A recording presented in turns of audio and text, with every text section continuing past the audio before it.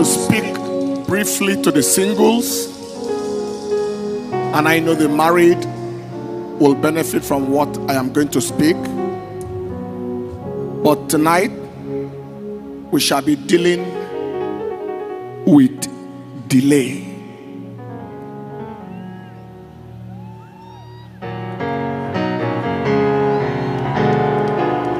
Dealing with marital delay.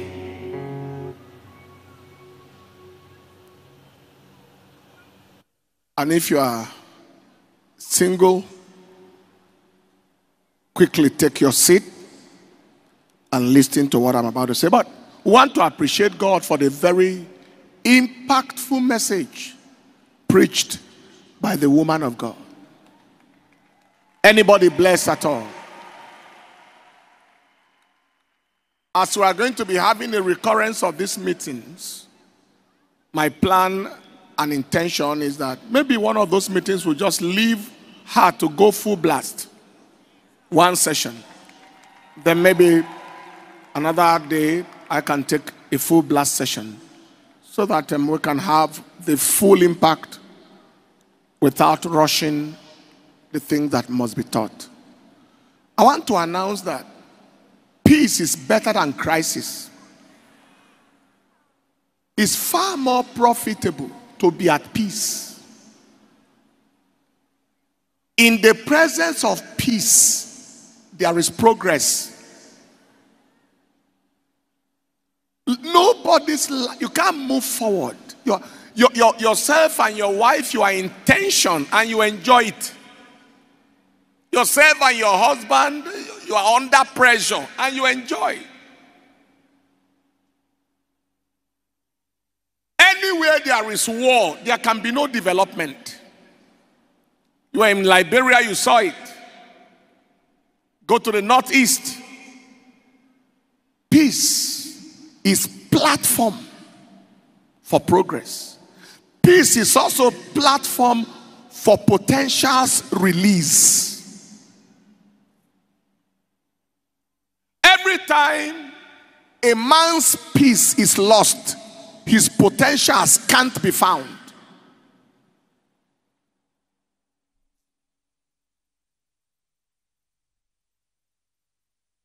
It's not possible.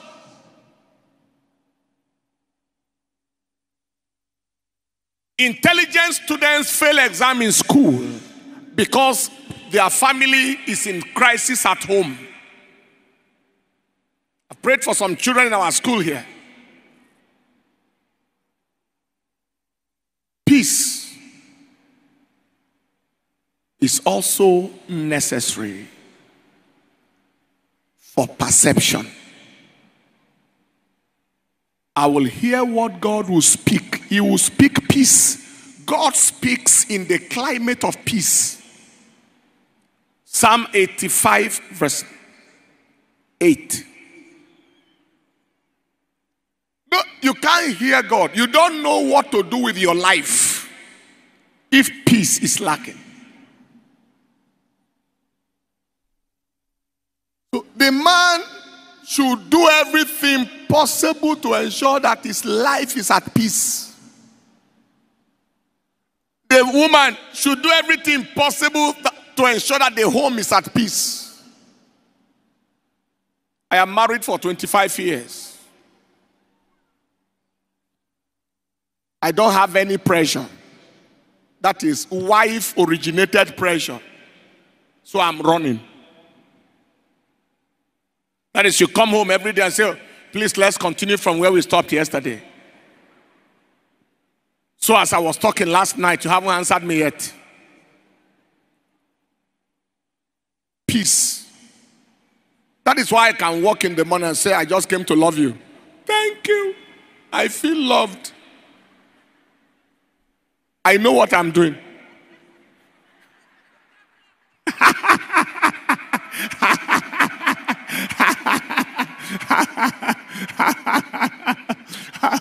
I know what I'm doing.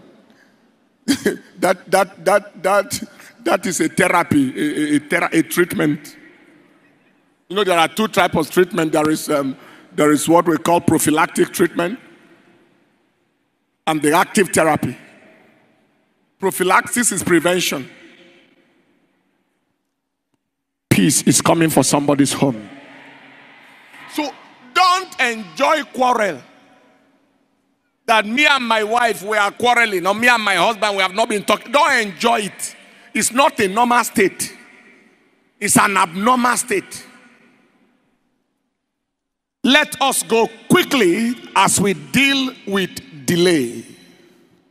Proverbs chapter 23, verse 17 to 18. Let not your heart envy sinners, but be thou in the fear of the Lord all the day long. For surely there is an end, and thy expectation shall not be cut short. I speak to a single girl here, a single man here. There is an end to your singleness, and your expectation shall not be cut short. Everyone trusting for the fruit of the womb, or trusting for your children to get married and get settled, or trusting for your siblings. I prophesy there is an end, and your expectation shall not be cut short. You believe that? Shout the loudest amen. Take your seat. Our objective is to understand, understanding, and dealing with the causes of delay. We want to understand and then we want to deal with the causes of delay. Delay in getting married. Delay in getting settled. There are three things i want us to note as we run on this subject. Number one is a god of times and seasons he is also a god of plans and purposes. God is a God of times and seasons. He's a God of plans and purposes. The meaning is that God fulfills the right purpose at the right season. That is the meaning of that statement. It fulfills the right purpose at the right season. Ecclesiastes chapter 3, verse 1. He said, To everything there is a season and a time to every purpose under heaven. So there is a time to get married. There is a time. Marriage is a purpose and there is a season for it. And God is a God of times and purpose.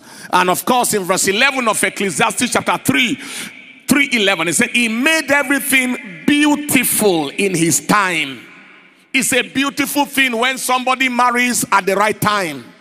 The situation is become starts getting ugly when the person can't marry at the same time or on, at the right time. Someone sent me a text message today, and maybe she may be here. He said today is her 46th birthday, and she's still single and she's not celebrating. No, don't do that. Celebrate. Celebrate that you have life. You see, so if the person is concerned because I am 46 now, maybe I should have married 20 years ago around the age of 26. You see, so he made everything beautiful in his season. That's the first thing. Number two, God is a God of early satisfaction. Early satisfaction. Early. He satisfies us early. Psalm 46, verse 4. Psalm 46, verse 4. He said, There is a river, the streams whereof shall make glad the city of God, the holy place of the tabernacles of the Most High. God is in the midst of her. She shall not be moved. God shall help her and do and he will do that right early right early right early God satisfies people early. Psalm 90 verse 14 he said oh satisfy us early with your mercy satisfy us early with your mercy that we may rejoice and be glad all our days. He satisfies early. I experience early satisfaction.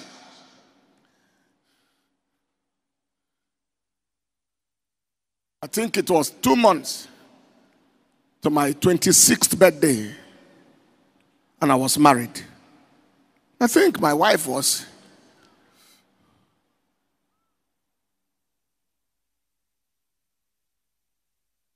Twenty-three plus, maybe twenty-three and six months, and she was married. You see, and I believe that tonight that mystery shall be reproduced in people's lives. Anyone who has experienced a delay by the testimony of your pastors I just spoke about, that delay is over forever. Shout the loudest amen. Lift the right and say, Father, satisfy me early. Take your seat. But another person might be saying, I have passed the 20s, even 30s. If I marry now, is it early? Yes, it can be. Thought that leads me to the third point. God is a God of the restoration of years.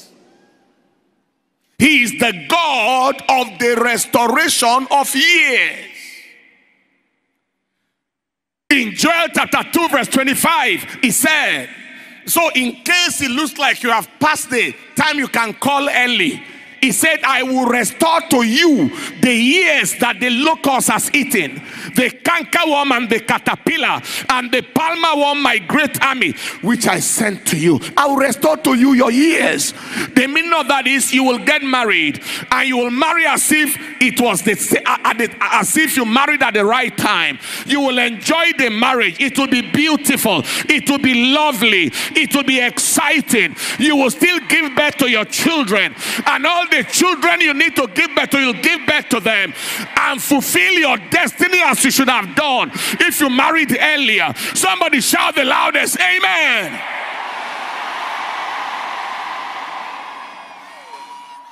Yesterday, a man dedicated four children at once, quadruplets, born at once.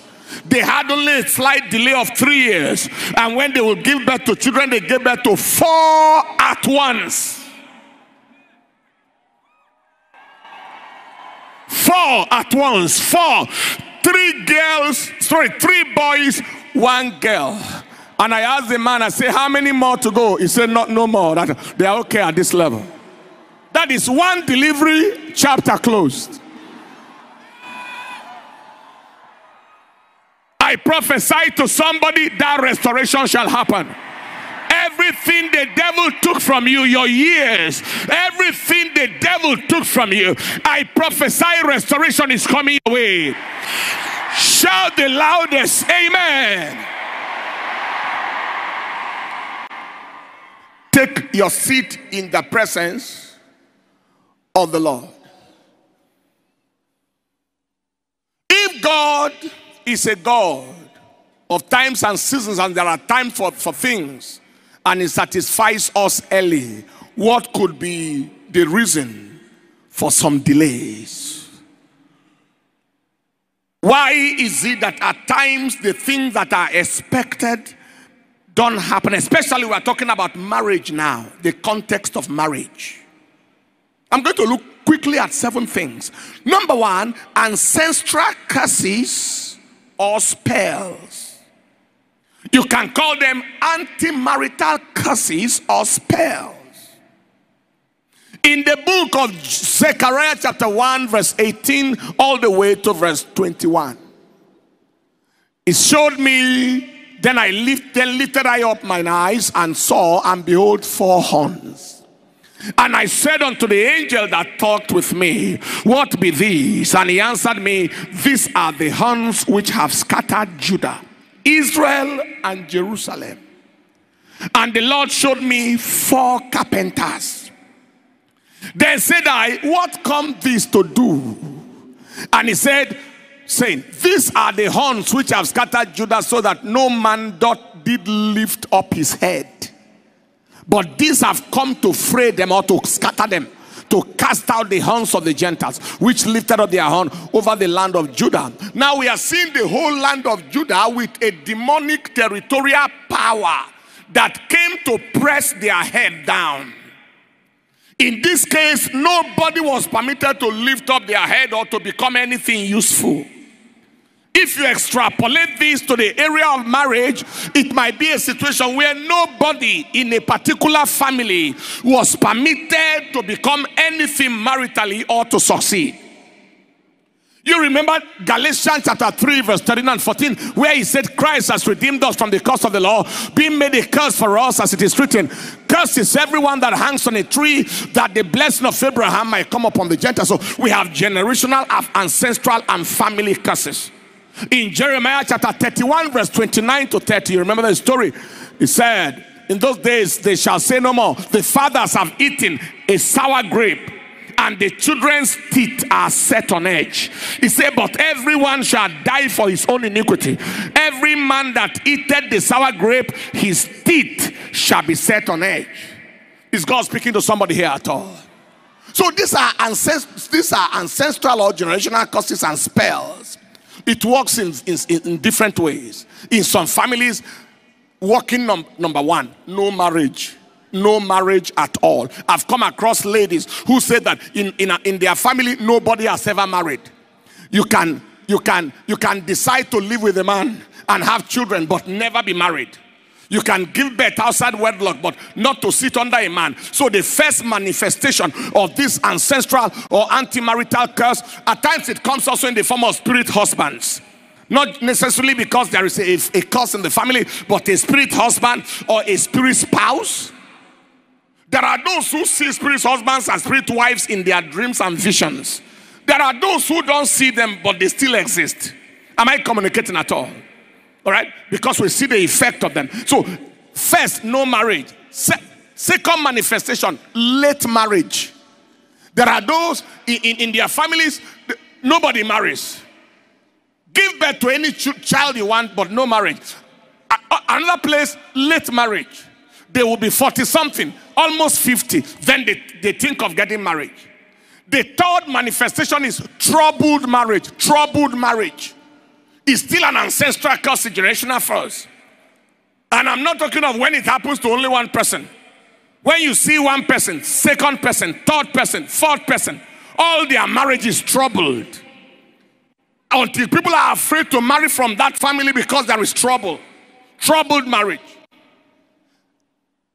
First, no marriage. Second, late marriage. Third, troubled marriage. Fourth, failed marriage.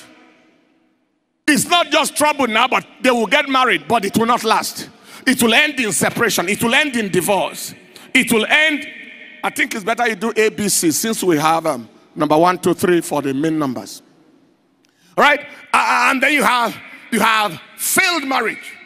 People can count aunties and uncles. I heard the mouth of um, one servant of God. In their family, they are 35, 35 children. I think the polygamous home. All 35, no marriage worked. All of them. He was the only, the last man standing, trying to make it work. Aunties, uncles, none worked. My but in case you are like that here, the yoke is going to be broken. I am not telling you so you can be afraid. I am telling you because you came here so that it can be scattered. Somebody say aloud, Amen. So there is no marriage, late marriage, troubled marriage, failed marriage. Then you have liability marriage. In this situation, you have a situation where the people can get married, but it's a liability marriage. A marriage that is full of poverty, scarcity, shortage. Situations where it is the woman that is taking care of the, of the home. I've seen situations where uh, uh, the, the, the people are married, but maybe the husbands lose their job, jobs, or something. And then you realize that it is the wives taking care of the husbands. It's a curse, it's not good. It's the man that takes care of the home, not the wife. Am I communicating at all? The woman is spending her money for children's school fees, spending her money for, for, for, for food in the house, spending her money even for the cloth that the man will wear. It's a curse and it shall be broken here tonight. And if any man doesn't recognize that that is a problem, the problem is the man. If any man does not recognize that his wife taking care of him is a problem. The problem is the man. Failed marriage. So we have all these under anti-marital curses and anti-marital spells. Number two, cause of delay is character challenge. Character challenge. They need where there must be character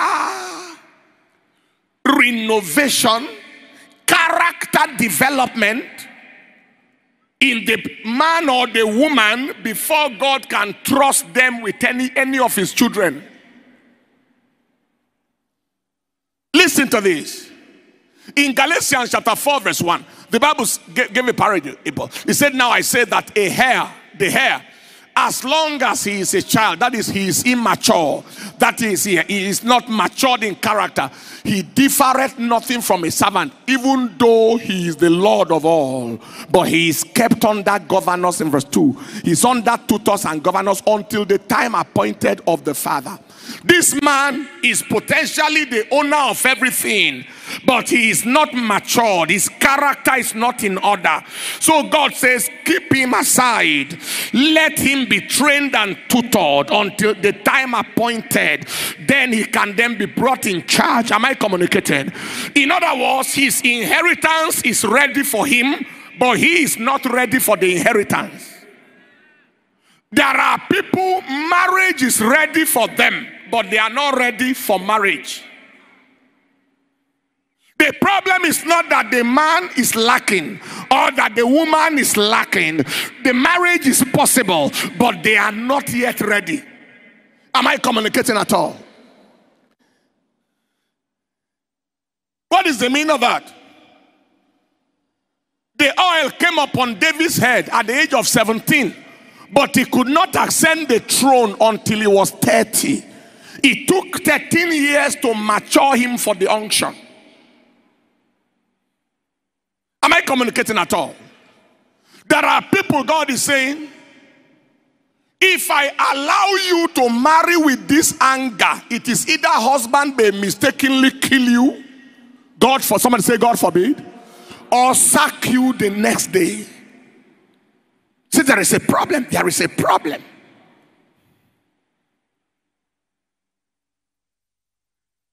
A man told me a story of how he was in a relationship with a lady. He said the manifestation of anger in that lady was so much. He said they were on the inside the vehicle on the road one day. The anger was so much he was afraid that the vehicle was going to lose control. I think it was the lady driving.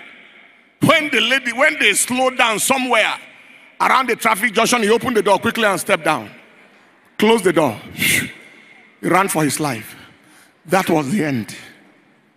That was he, he. He ran without looking back. That was the end. The lady, not that he's a sinner in terms of waywardness, but that dimension was an untreated dimension.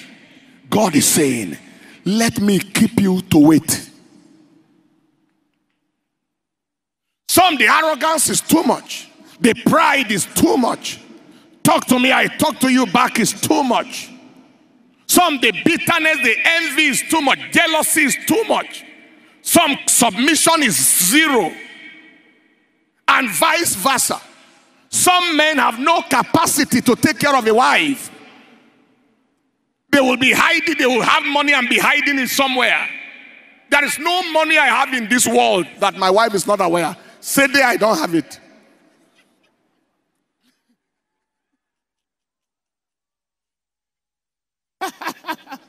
Did you hear that, Hausa? Stroke Idoma. Sit there, I don't have it. Are you hearing what I'm saying here today? So somebody's prayer regarding the matter of delays, Father, is there any character problem in my life? Is there something you want to fix in my life? There are some people unforgiveness is too much. When you do something today, they will remind you in 13 years time. Those children running up there, take care of them. They will remind you, and God is saying, Don't worry, take your seat. Some children think this is a stadium. I see them. So the character problem must be handled. Lord, prepare me for the man, for the man or the woman, whatever is in me that is causing me to be delayed. Help me, Lord. That is number two. Number three is sinful action. Now, the two of them are different. The character challenge may not be active sin, as it were. It may not be an active kind of sin uh, in terms of uh, he, he, he, stole, he, he, did this or that. He must be just in, traits inside. But here is sinful action. Do you know that sin is, is a disruption for destiny and can be a major cause of delay? In Romans chapter 3, verse 23, the Bible said, All have sinned and come short of glory. What does that mean? Sin makes people to fall short of purpose. Sin makes people to fall short of purpose. Sin disconnects people from purpose. Romans 6:23 said the wages of sin is death. The meaning of that is when you sin, something dies. Favor can die. I heard that for the first time from T.L. Osborn of blessed memory. Relationship can die. It can die.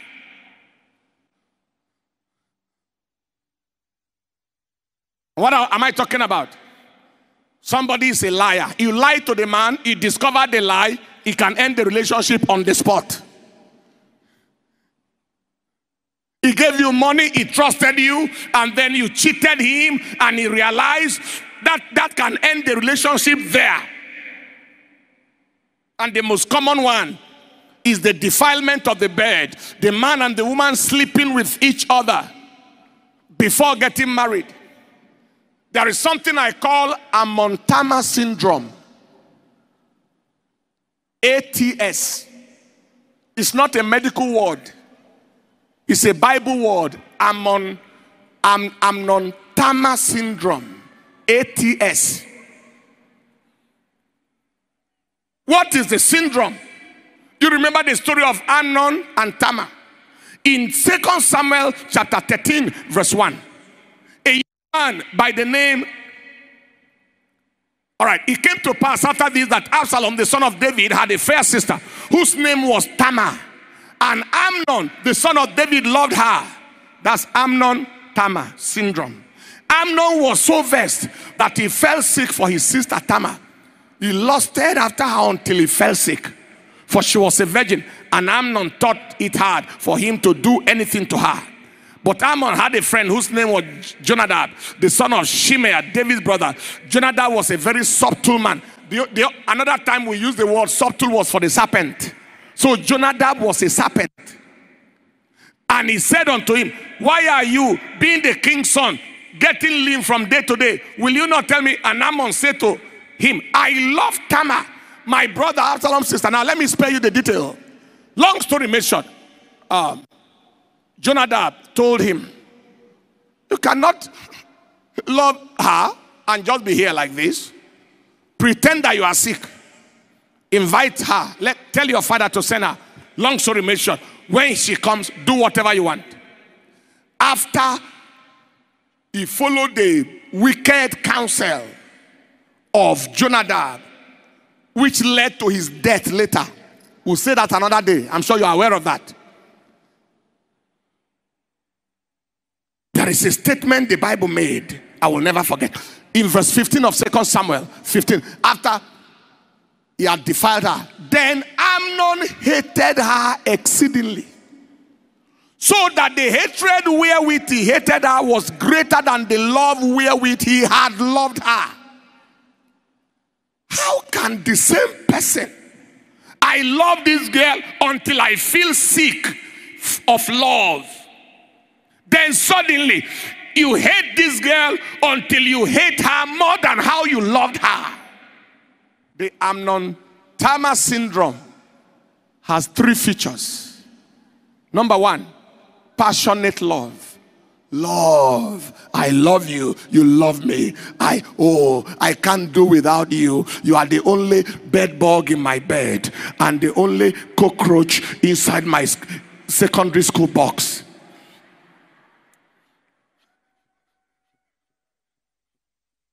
Right? Uh, without you, I cannot do with I can't do without you, I swear. You know, when people say I swear, it means I am lying.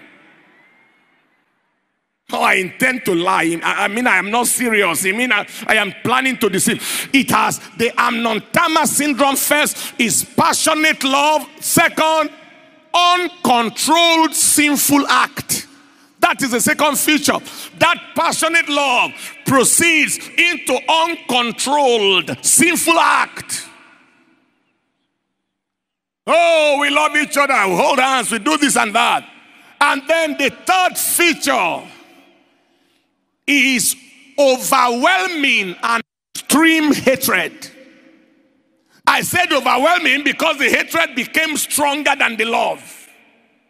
That's what happens. And some people wonder. The man said he loved me, and I love him too. Suddenly he changed towards me. If the devil was not at work and there is nothing after you, the next question we want to ask is Did anything happen between the two of you? Most people that tell me like this, 99% will say, Yes, something happened. I've talked to a lady who had had five relationships and all broke. I said, All these relationships that bro- broke, did you have anything with any of them? You say, All of them. All right? So it will break. That thing, she already said it, so I don't need to go into to the details. The lack of love, the lack of trust, the lack of respect, extramarital affair, and then, of course, mutual perennial suspicion. See, so sinful act can be a cause of delay. When somebody uh, is is is deliberately, consciously living in that kind of action, I'll come to the consequence of why it can cause delay later on. So that was number two.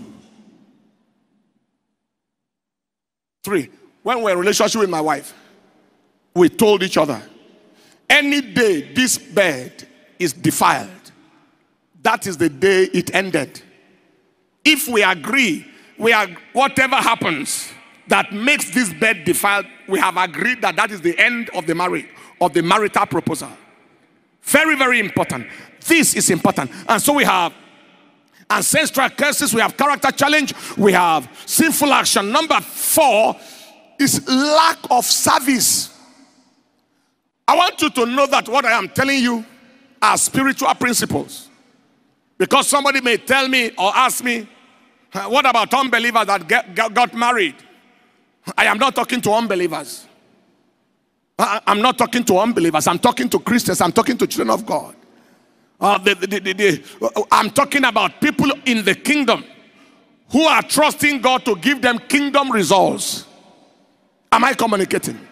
Lack of service. The place of service is the place of answers. As far as scripture is concerned, the place of service is the place of answers. The place of service is also the place of rewards.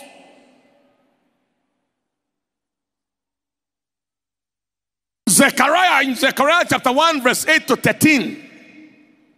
Zechariah and his wife were married for years, no child.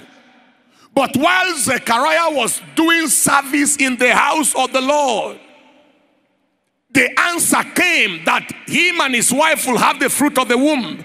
The place of service is the place of answers, and the place of service is the place of rewards.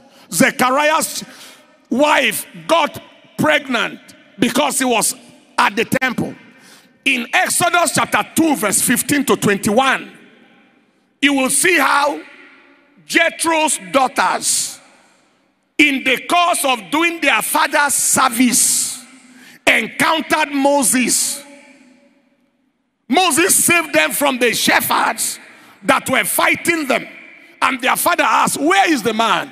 Why didn't you call him home? Long story made short, they invited Moses home and, and, he, and he gave Moses his first daughter for wife.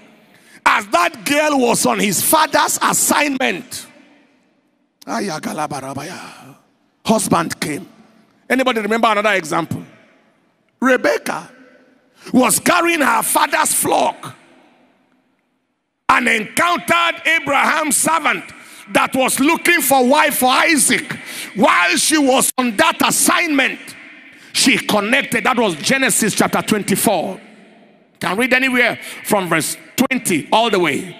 That was where she encountered husband. The place of service. Is God speaking to somebody here at all?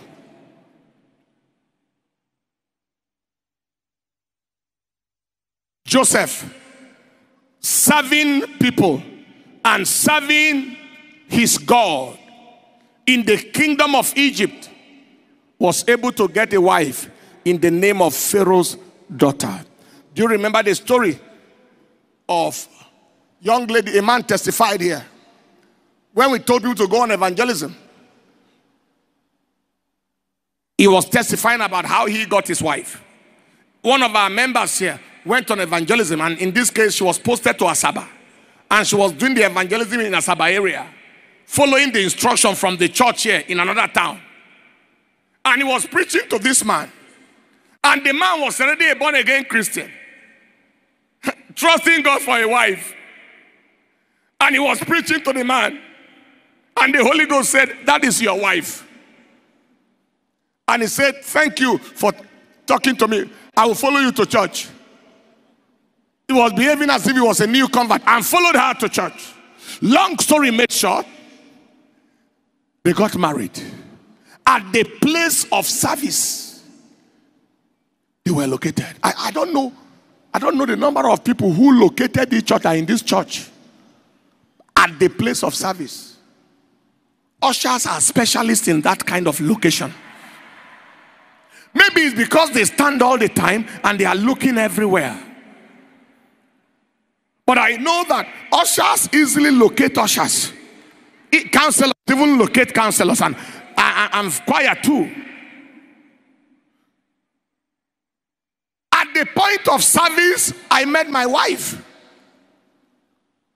I was a president of the Medical Students Fellowship, Nigerian Conference of Christian Medical and Dental Students in, in our university.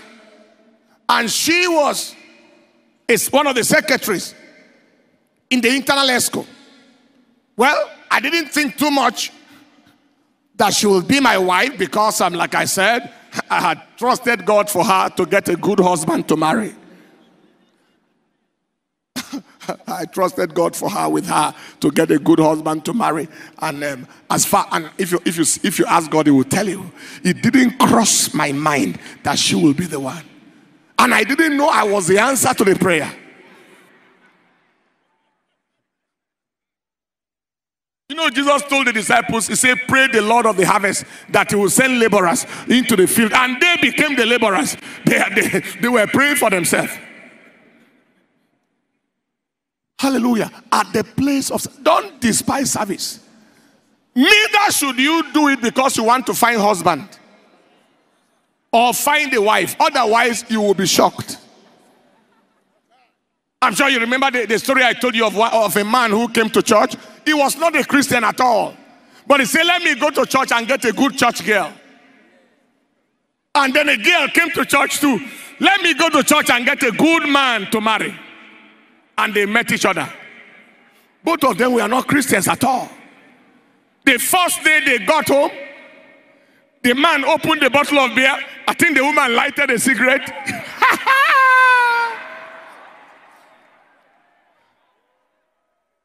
The man said, I thought you were a Christian. The woman said, Me too, I thought. That was how breaking of bottle on each other's head started. Uh, if you come for a wrong purpose, you will not be disappointed. You will meet the wrong, you will meet the wrong purpose.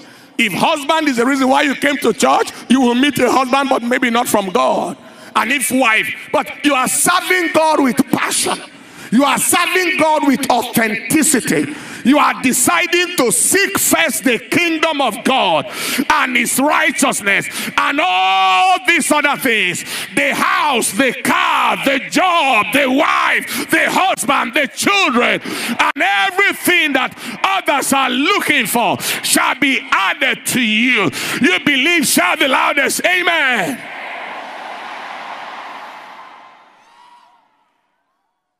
Take your seat. While we're growing up as children, there were those who put husband and wife as their first priority. We put God as our first priority. We married far ahead of many of such people. Some marriages even didn't work. Do you understand what I'm talking about? God first. So, it is the lack of service. Number five is the lack of vision. Again, I'm talking to Christian people who are trusting God to follow God's principle and get the results. A lack of vision. Genesis chapter 13, verse 15. God said to Abraham, All the land which you see, to you will I give it, and to your seed forever. What is the meaning? What God gives is determined by what man sees. All the land which thou seest, to thee will I give it. What do you see of a wife or a husband? An empty heart will produce an empty life. If you don't know what you want, you won't recognize it if you see it. That's why many are confused. I have seen three men. I don't know which one is the, is the one among them. There will be no cause for that. I have seen, I, I, there are three ladies around me. I, I don't know which one is the right person. There will be no cause for that. If you have precisely, if you precisely connect with God to know what God wants you to do with your life and what you want out of life yourself. Am I communicating at all? What you cannot define, you can never discover. It was not hard for me to, at the end of the day, discover who I'm to marry. And by God's grace and by His mercies, as a young man, I went to just one person for the sake of marriage, and that's the person I'm married to for life. Not, not two, not three. Have I talked and said, Can I marry you? No, because it was so clear what it was. It should be clear to you what is not clear to you is not there for you. If it's not clear, crystal clear in your mind, in your heart, in your spirit, what it is that you trust God for in a home. And there are, and there are two dimensions of this clarity of vision. The first dimension is knowing what God wants you to do with your life. If I don't know what I am to do with my life, how can I know who is to help me do it? There are young ladies, I mean, they are just waiting. They don't have no vision, no direction. They don't know what to do with their lives. Maybe just staying like a liability and waiting for somebody to come and carry a liability.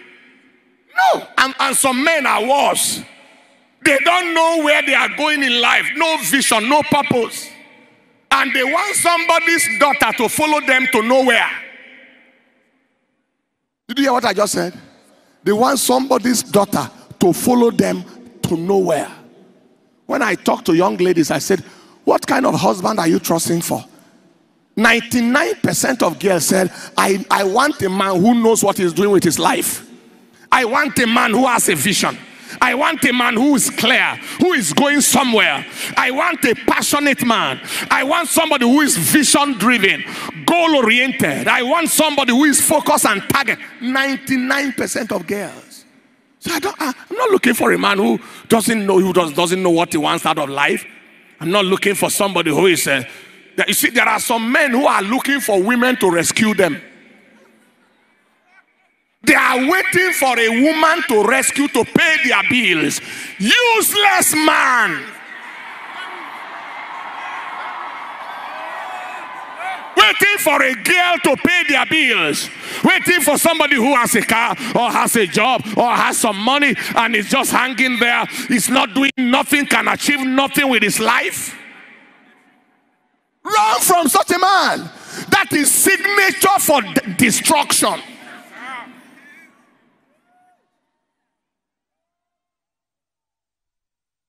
When you come across a man, number one, what is his vision?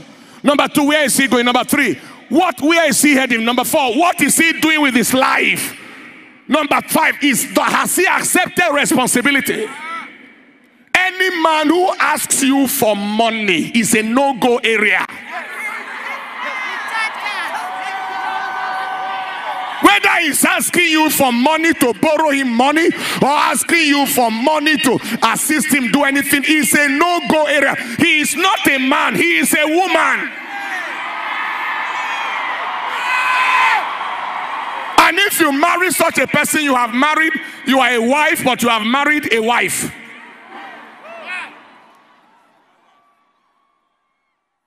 I cannot stand lazy men. And God can't. God is a very, he's a hard worker, aggressive, vision driven God. Can't stand men who don't have any sense of God's and responsibility and sense of direction.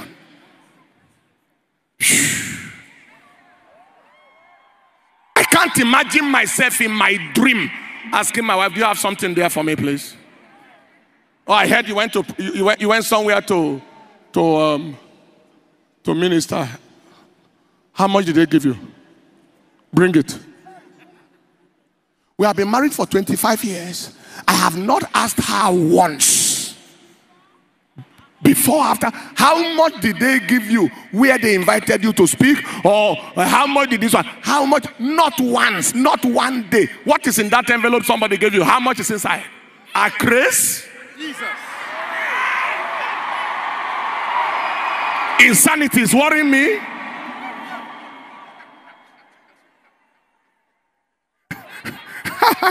no be mother upon me.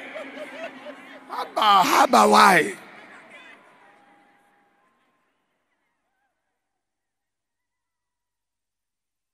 Vision, solid vision, solid vision that is confirmable with solid motion.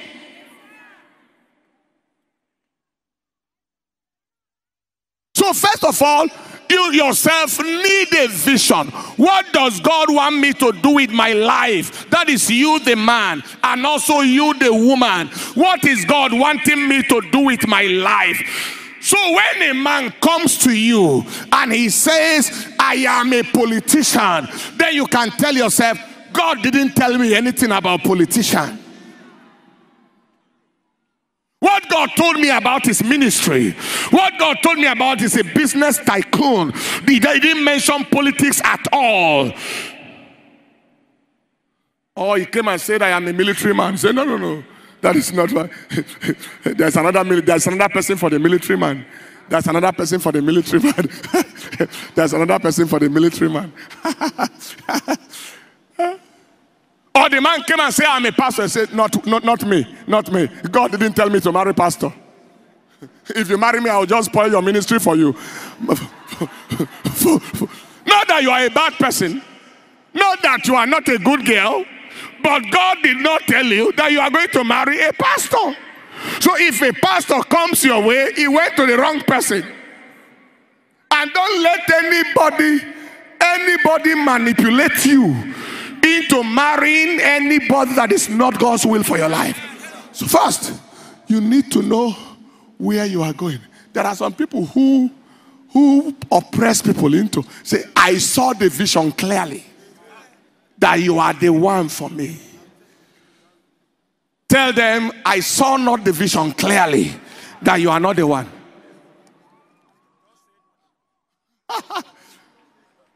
Don't let anybody intimidate you with what they saw. Eh? Because you too have eyes to see. If that sin is important, God should show you. Take your seat. Did you hear something here tonight?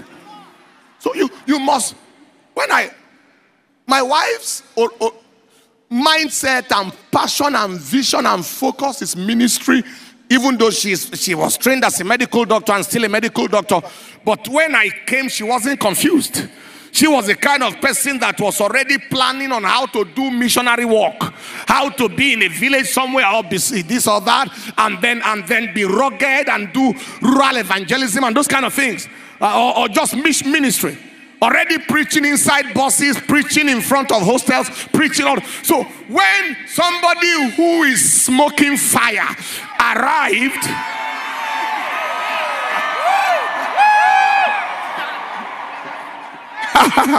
fire on the head, fire on the just fire in motion. Arrived, he was not intimidated. Said, this is the man, this can be the man. We are headed the same way. I think this passion is the same with that passion. And for 20 something years, it is confirmed. I am here to announce to somebody, you shall not miss it. That amen is too paralyzed. Shout a louder amen. Lift your hand, say, I shall not miss it. I cannot miss it. I will not miss it. Take your seat in the presence of the Lord. Is anybody getting anything tonight? I heard from R.W. Schambach that at times it takes angry preaching for some people to be delivered. He said to the captives, deliverance is preached. So when, when at times you see us roar, it is to impart sense. One man met me some time ago. He said, I'll tell you two stories. He said, I don't like ladies who are looking for who will take care of them. I said, So what kind of ladies are you looking for? He said, The one that will take care of me.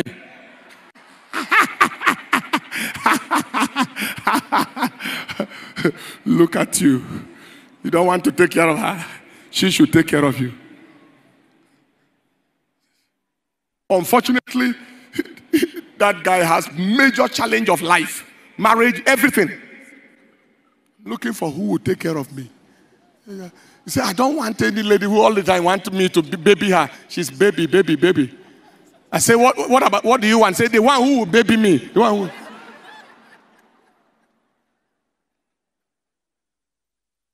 one another one. That one was a man cello.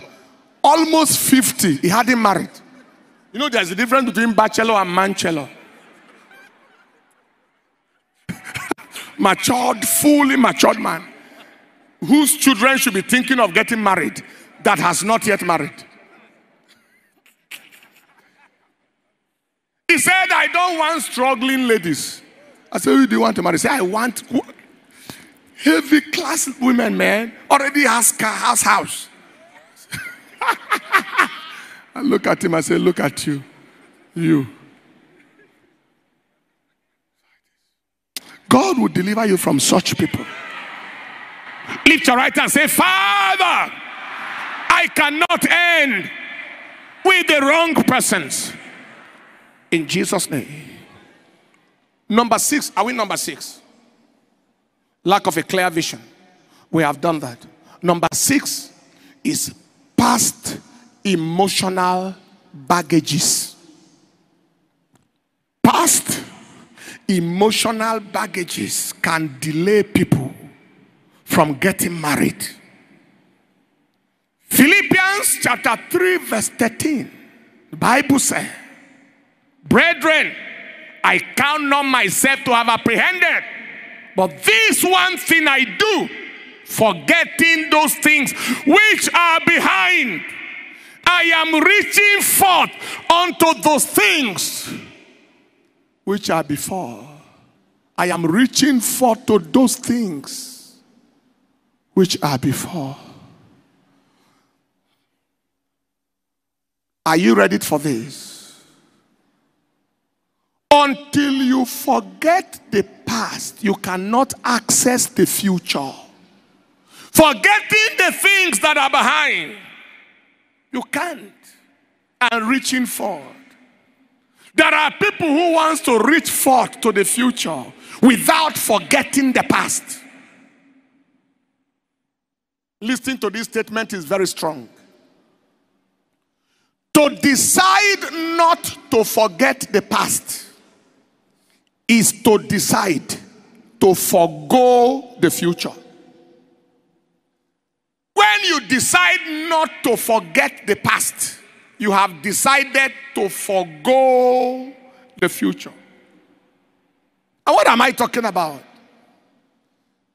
Basically, two, two things relationships that didn't work, emotional hurts, past hurts, pains, bitterness, unforgiveness. That has come from either betrayal, deception, or rejection. You see, somebody betrayed you, you trusted them, they betrayed you. Somebody deceived you. After you spent all your money, they married another person. Somebody rejected you. You loved them, they, they, they hated you in, in exchange. You know, and, and there are people who can do very, very terrible things. I've seen people who married a friend of the person they wanted to marry. They said no to the girl and married the girl's friend. You know, some human beings can do even what animals will not do. There are people who behave as if it is not a human heart that is in their heart.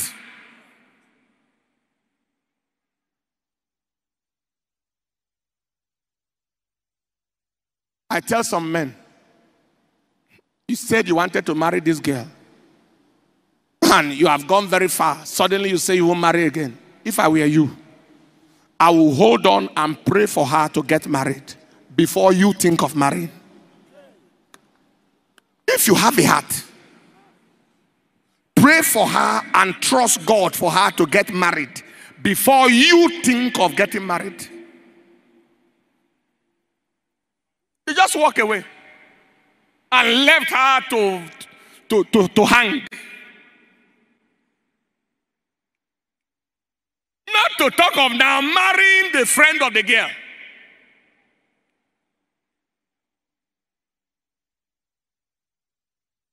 If you are close to God, you hardly hurt a fly. There are people who do this. He jilted one girl, jilted a second girl, jilted a third, jilted a fourth, jilted a fifth. Only you? Are you a devil physical? Who come to steal to steal people's joy? To kill, to destroy? Take your seat. And then the, the, the girl is hurting. And let me tell you, that kind of agenda of the devil came only to tie your life down. You are bitter, you are unforgiving. When you remember the man, you remember your friend that married him, or you remember everything, you, you got very bitter. That bitterness ties you down. I beg you, release it. God will help you to release it. For the sake of your future, the sake of your destiny. Paul the apostle said, I must forget the things that are behind if I must reach the things that are in front. Some people, it's not even the unforgiveness against, just unforgiveness against a man or a woman. And some people, it's, it's, it's the other way around. It is the man who has been jilted. I, I know of men that spent all their money, men who sponsor some girls in school, both their mother and themselves eating from the man. Then suddenly they come and say, No, they saw a bigger fish. And then the man can be so bitter. Which girl can I trust? I've seen men like that. I've seen one, I've seen a couple of men like that. Say, after I've spent everything on this girl, he just left me and went for another person. And if you see such a girl who left another person, he just finished milking, and say you are the one he love now, be on the run for your life. Be on the run for your life because you are the next target. He will find another person and abandon you. Those are not wifeable materials, those are business women.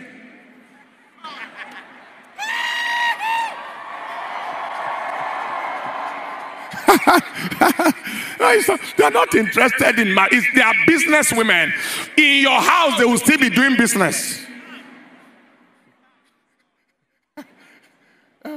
They will still be doing business in your house for bigger fishes. Am I communicating at all? I want, I'm going to pray for you tonight. The forgiveness. Now, beyond that forgiveness, it's also the emotional hurt. How many of you know that there is healing for emotion? And that is what to pray for. The second component of letting go the emotional baggage is the healing of your emotion. The trauma, the wound, the injury, the pain you felt.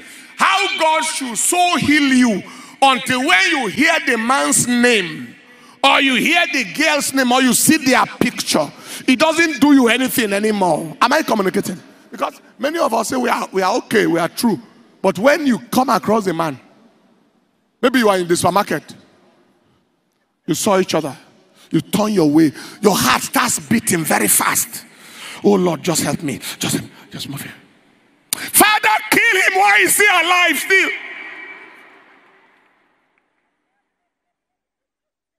Why is he still alive? Kill him.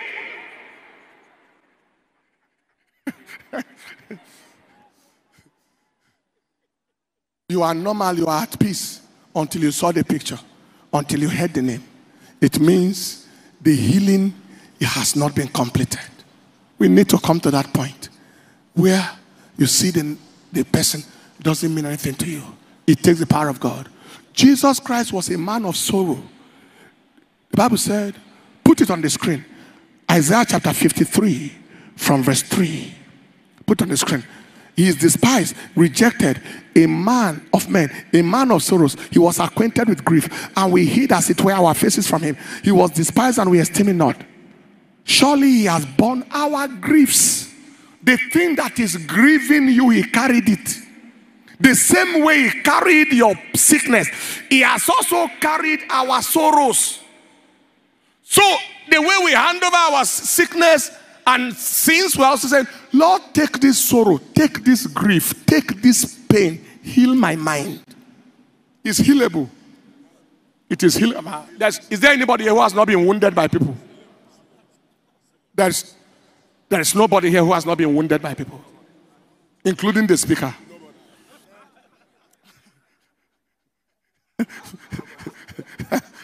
One of our lecturers, he's talking, he's saying, including the speaker.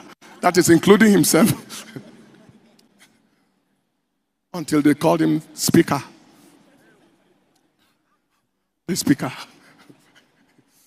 Hallelujah. But you, you, you come to the point where you let go and then you are free. Now, this is the danger of no emotional healing.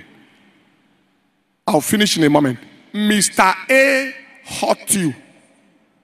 Mr. A rejected you, despised you, even lied against you.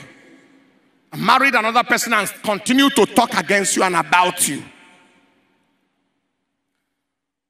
God helped you. You married Mr. B.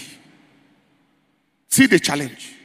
You are having emotional baggage that Mr. A laid on you by his action. You carried all of it into your relationship with Mr. B. You have some venom inside, pent up anger, unresolved hurt. After any slight thing, you explode. The explosion was to be against Mr. A, but he's not here now. So there is a transfer of aggression. You know, the same way that women shout on their children when their husband is having challenge with them and they take it out on the children. Leave me alone. The man wounded her. The man injured her with his word. Children are feeling it in the same manner. Your relationship with Mr. A that didn't work is now destroying your relationship with Mr. B.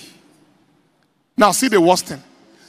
After a while, you begin to see Mr. B as if he was Mr. A. You begin to treat him with the same eyes. You can't take me for granted. You can't talk to me anyhow. I am not that cheap. He hasn't done anything to warrant such statement, but you are transferring it from here. So your relationship with Mr. A that did not work has also spoiled your relationship with Mr. B. Very, very dangerous. I know a man who divorced with his wife and remained single for life. You know why? I can never be able to live with another woman. I think they are all the same. When you begin to think, I think all men are the same, or all women are the same, then there's something you are carrying. Am I communicating at all? Is there anybody understanding what I'm saying? I prophesy freedom tonight. Say that amen like a believer. Lift your hand, say, Father, I release every hurt, every pain of my life. I release today in Jesus' name. Take your seat and I'll give you the final point. So, what causes delays? Ancestral causes and spells, character challenges, sinful action, lack of service, lack of a clear vision, past emotional baggages or baggage, and finally, hidden fears or covenants. Something hidden somewhere. Hidden fears, hidden covenants.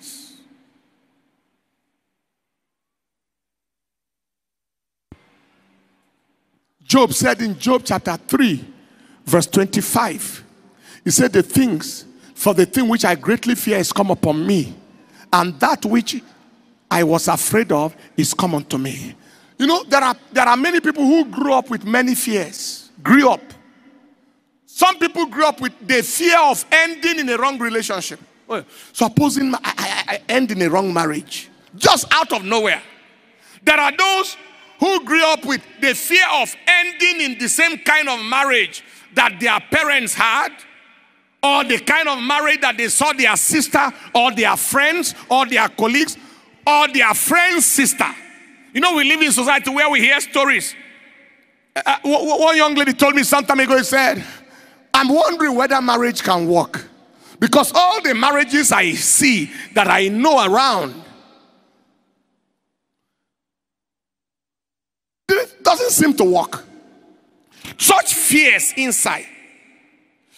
In fact, some have the fear of ending according to what some people said. Let's see how you will be married. Let's see how you get a good marriage. Let's see how you, you will succeed. And those kind of hidden fears, people's predictions that entered your heart. First John chapter 4. This should be verse 15, not verse 8. Whosoever shall confess that Jesus is the Son of God, God dwelleth in him and he in God. Please go on. And we have known 18. Herein is our law. There is no fear in love, but perfect love casteth out fear, because fear has a torment. He that feareth is not made perfect in love. You cannot fear and love at the same time. And you know that marriage is based on love. So, fierce, fierce. I didn't grow up in what you might call the best of marriage. No, not at all. But what that did to me was to vow that I will marry and I will marry well. I vowed that what I saw as a child, my children will never see in the home. And what my mother saw, my wife can never see. I vowed, I vowed, I entered marriage like a fight with a determination that it will work. Some people, it is the opposite. You know, when things happen, people take opposite sides. There are some the things that made them, they saw as growing up children, made them audacious. Some, they just say nothing can work. Hidden fears. Can I ask a question? Is there anybody who has a small fear about marriage that maybe you don't know how it will be, but as if don't be afraid. If, if there are people who lift up their hand, is because either they are I can tell you almost, yes, God bless, almost, almost, there will be nothing less than 80% of people here who have some slight fear. This thing called marriage, are you sure? Will the man love me? Will he continue to love me? Even if he starts by loving me, will he continue? Will he ever see somebody that will be better than me and change his mind? And vice versa. Such fears are there. But we use the scripture to kill the fear. The path of the just is a bright shining light that shineth more and more unto the perfect day. On our wedding anniversary, I told my wife, we say happy wedding anniversary. This is 25 years. Oh, we're congratulating each other. Happy wedding anniversary. And I, I can't remember the first statement I said. I said, it's not that we are 25 years old, though. We have been 25 years married. And I said, and it is as sweet as it was the first day, the first day when we married. And she said, Is it not sweeter? I said so before. She is the one who said, Is it not better than the beginning? I said, That's right, it is better. We are not talking to people, we are talking to each other. It wasn't, it wasn't on broadcast. You see? Someone said to thy own self be true. How many of you know you can't lie to yourself in the bedroom?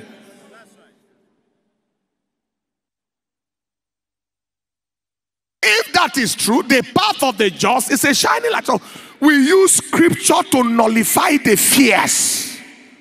Hidden fear. Some is hidden covenant. There are people who do a lot of very, very stupid things. Pardon me the use of the word. Paul said, Oh, foolish Galatians. So there are times such words are permitted. See a man, say, Me and you must marry.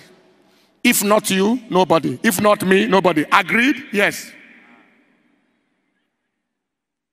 There are even people who cut their hand and enter Yeshua's covenant. Put the blood in cup, blood in cup, uh, water, drink. You marry me, I'll marry you. Even if there was no covenant, let us agree. Can you tell me that if not me, who marry another person? Very true. I can't marry nobody else. What of you? The same thing.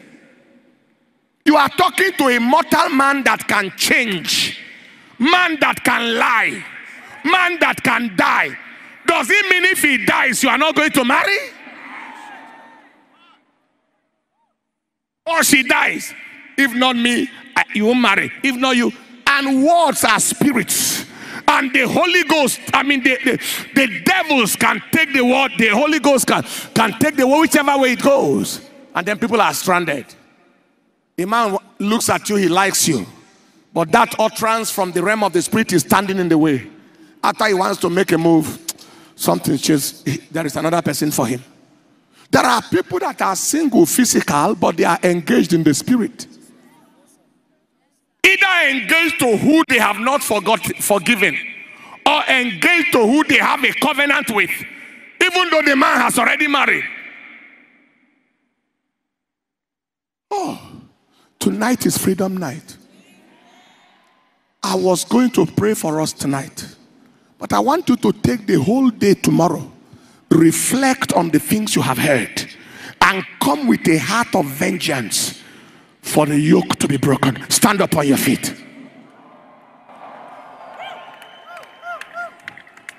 Hold the hand of somebody near you. Say after me, say, What my parents suffered, I will never suffer. The kind of wrong marriage I see around me, I have seen around me can never be my portion.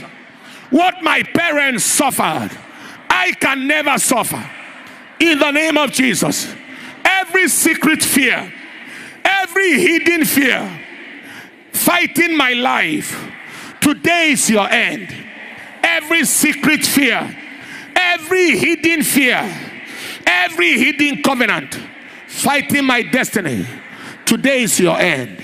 Every emotional baggage emotional pain and hurt fighting me, today is your end. In the name of Jesus, I receive clear vision for the future I reject visionlessness. I receive the grace to serve God. In the name of Jesus, every sinful action fighting my life and my destiny. Today, I ask for mercy. Every character challenge in my life, Lord, mercy. Help me, Lord. Every ancestral curse, anti-marital curse, fighting me. Today will be your end. In the name of Jesus. Open your mouth and pray.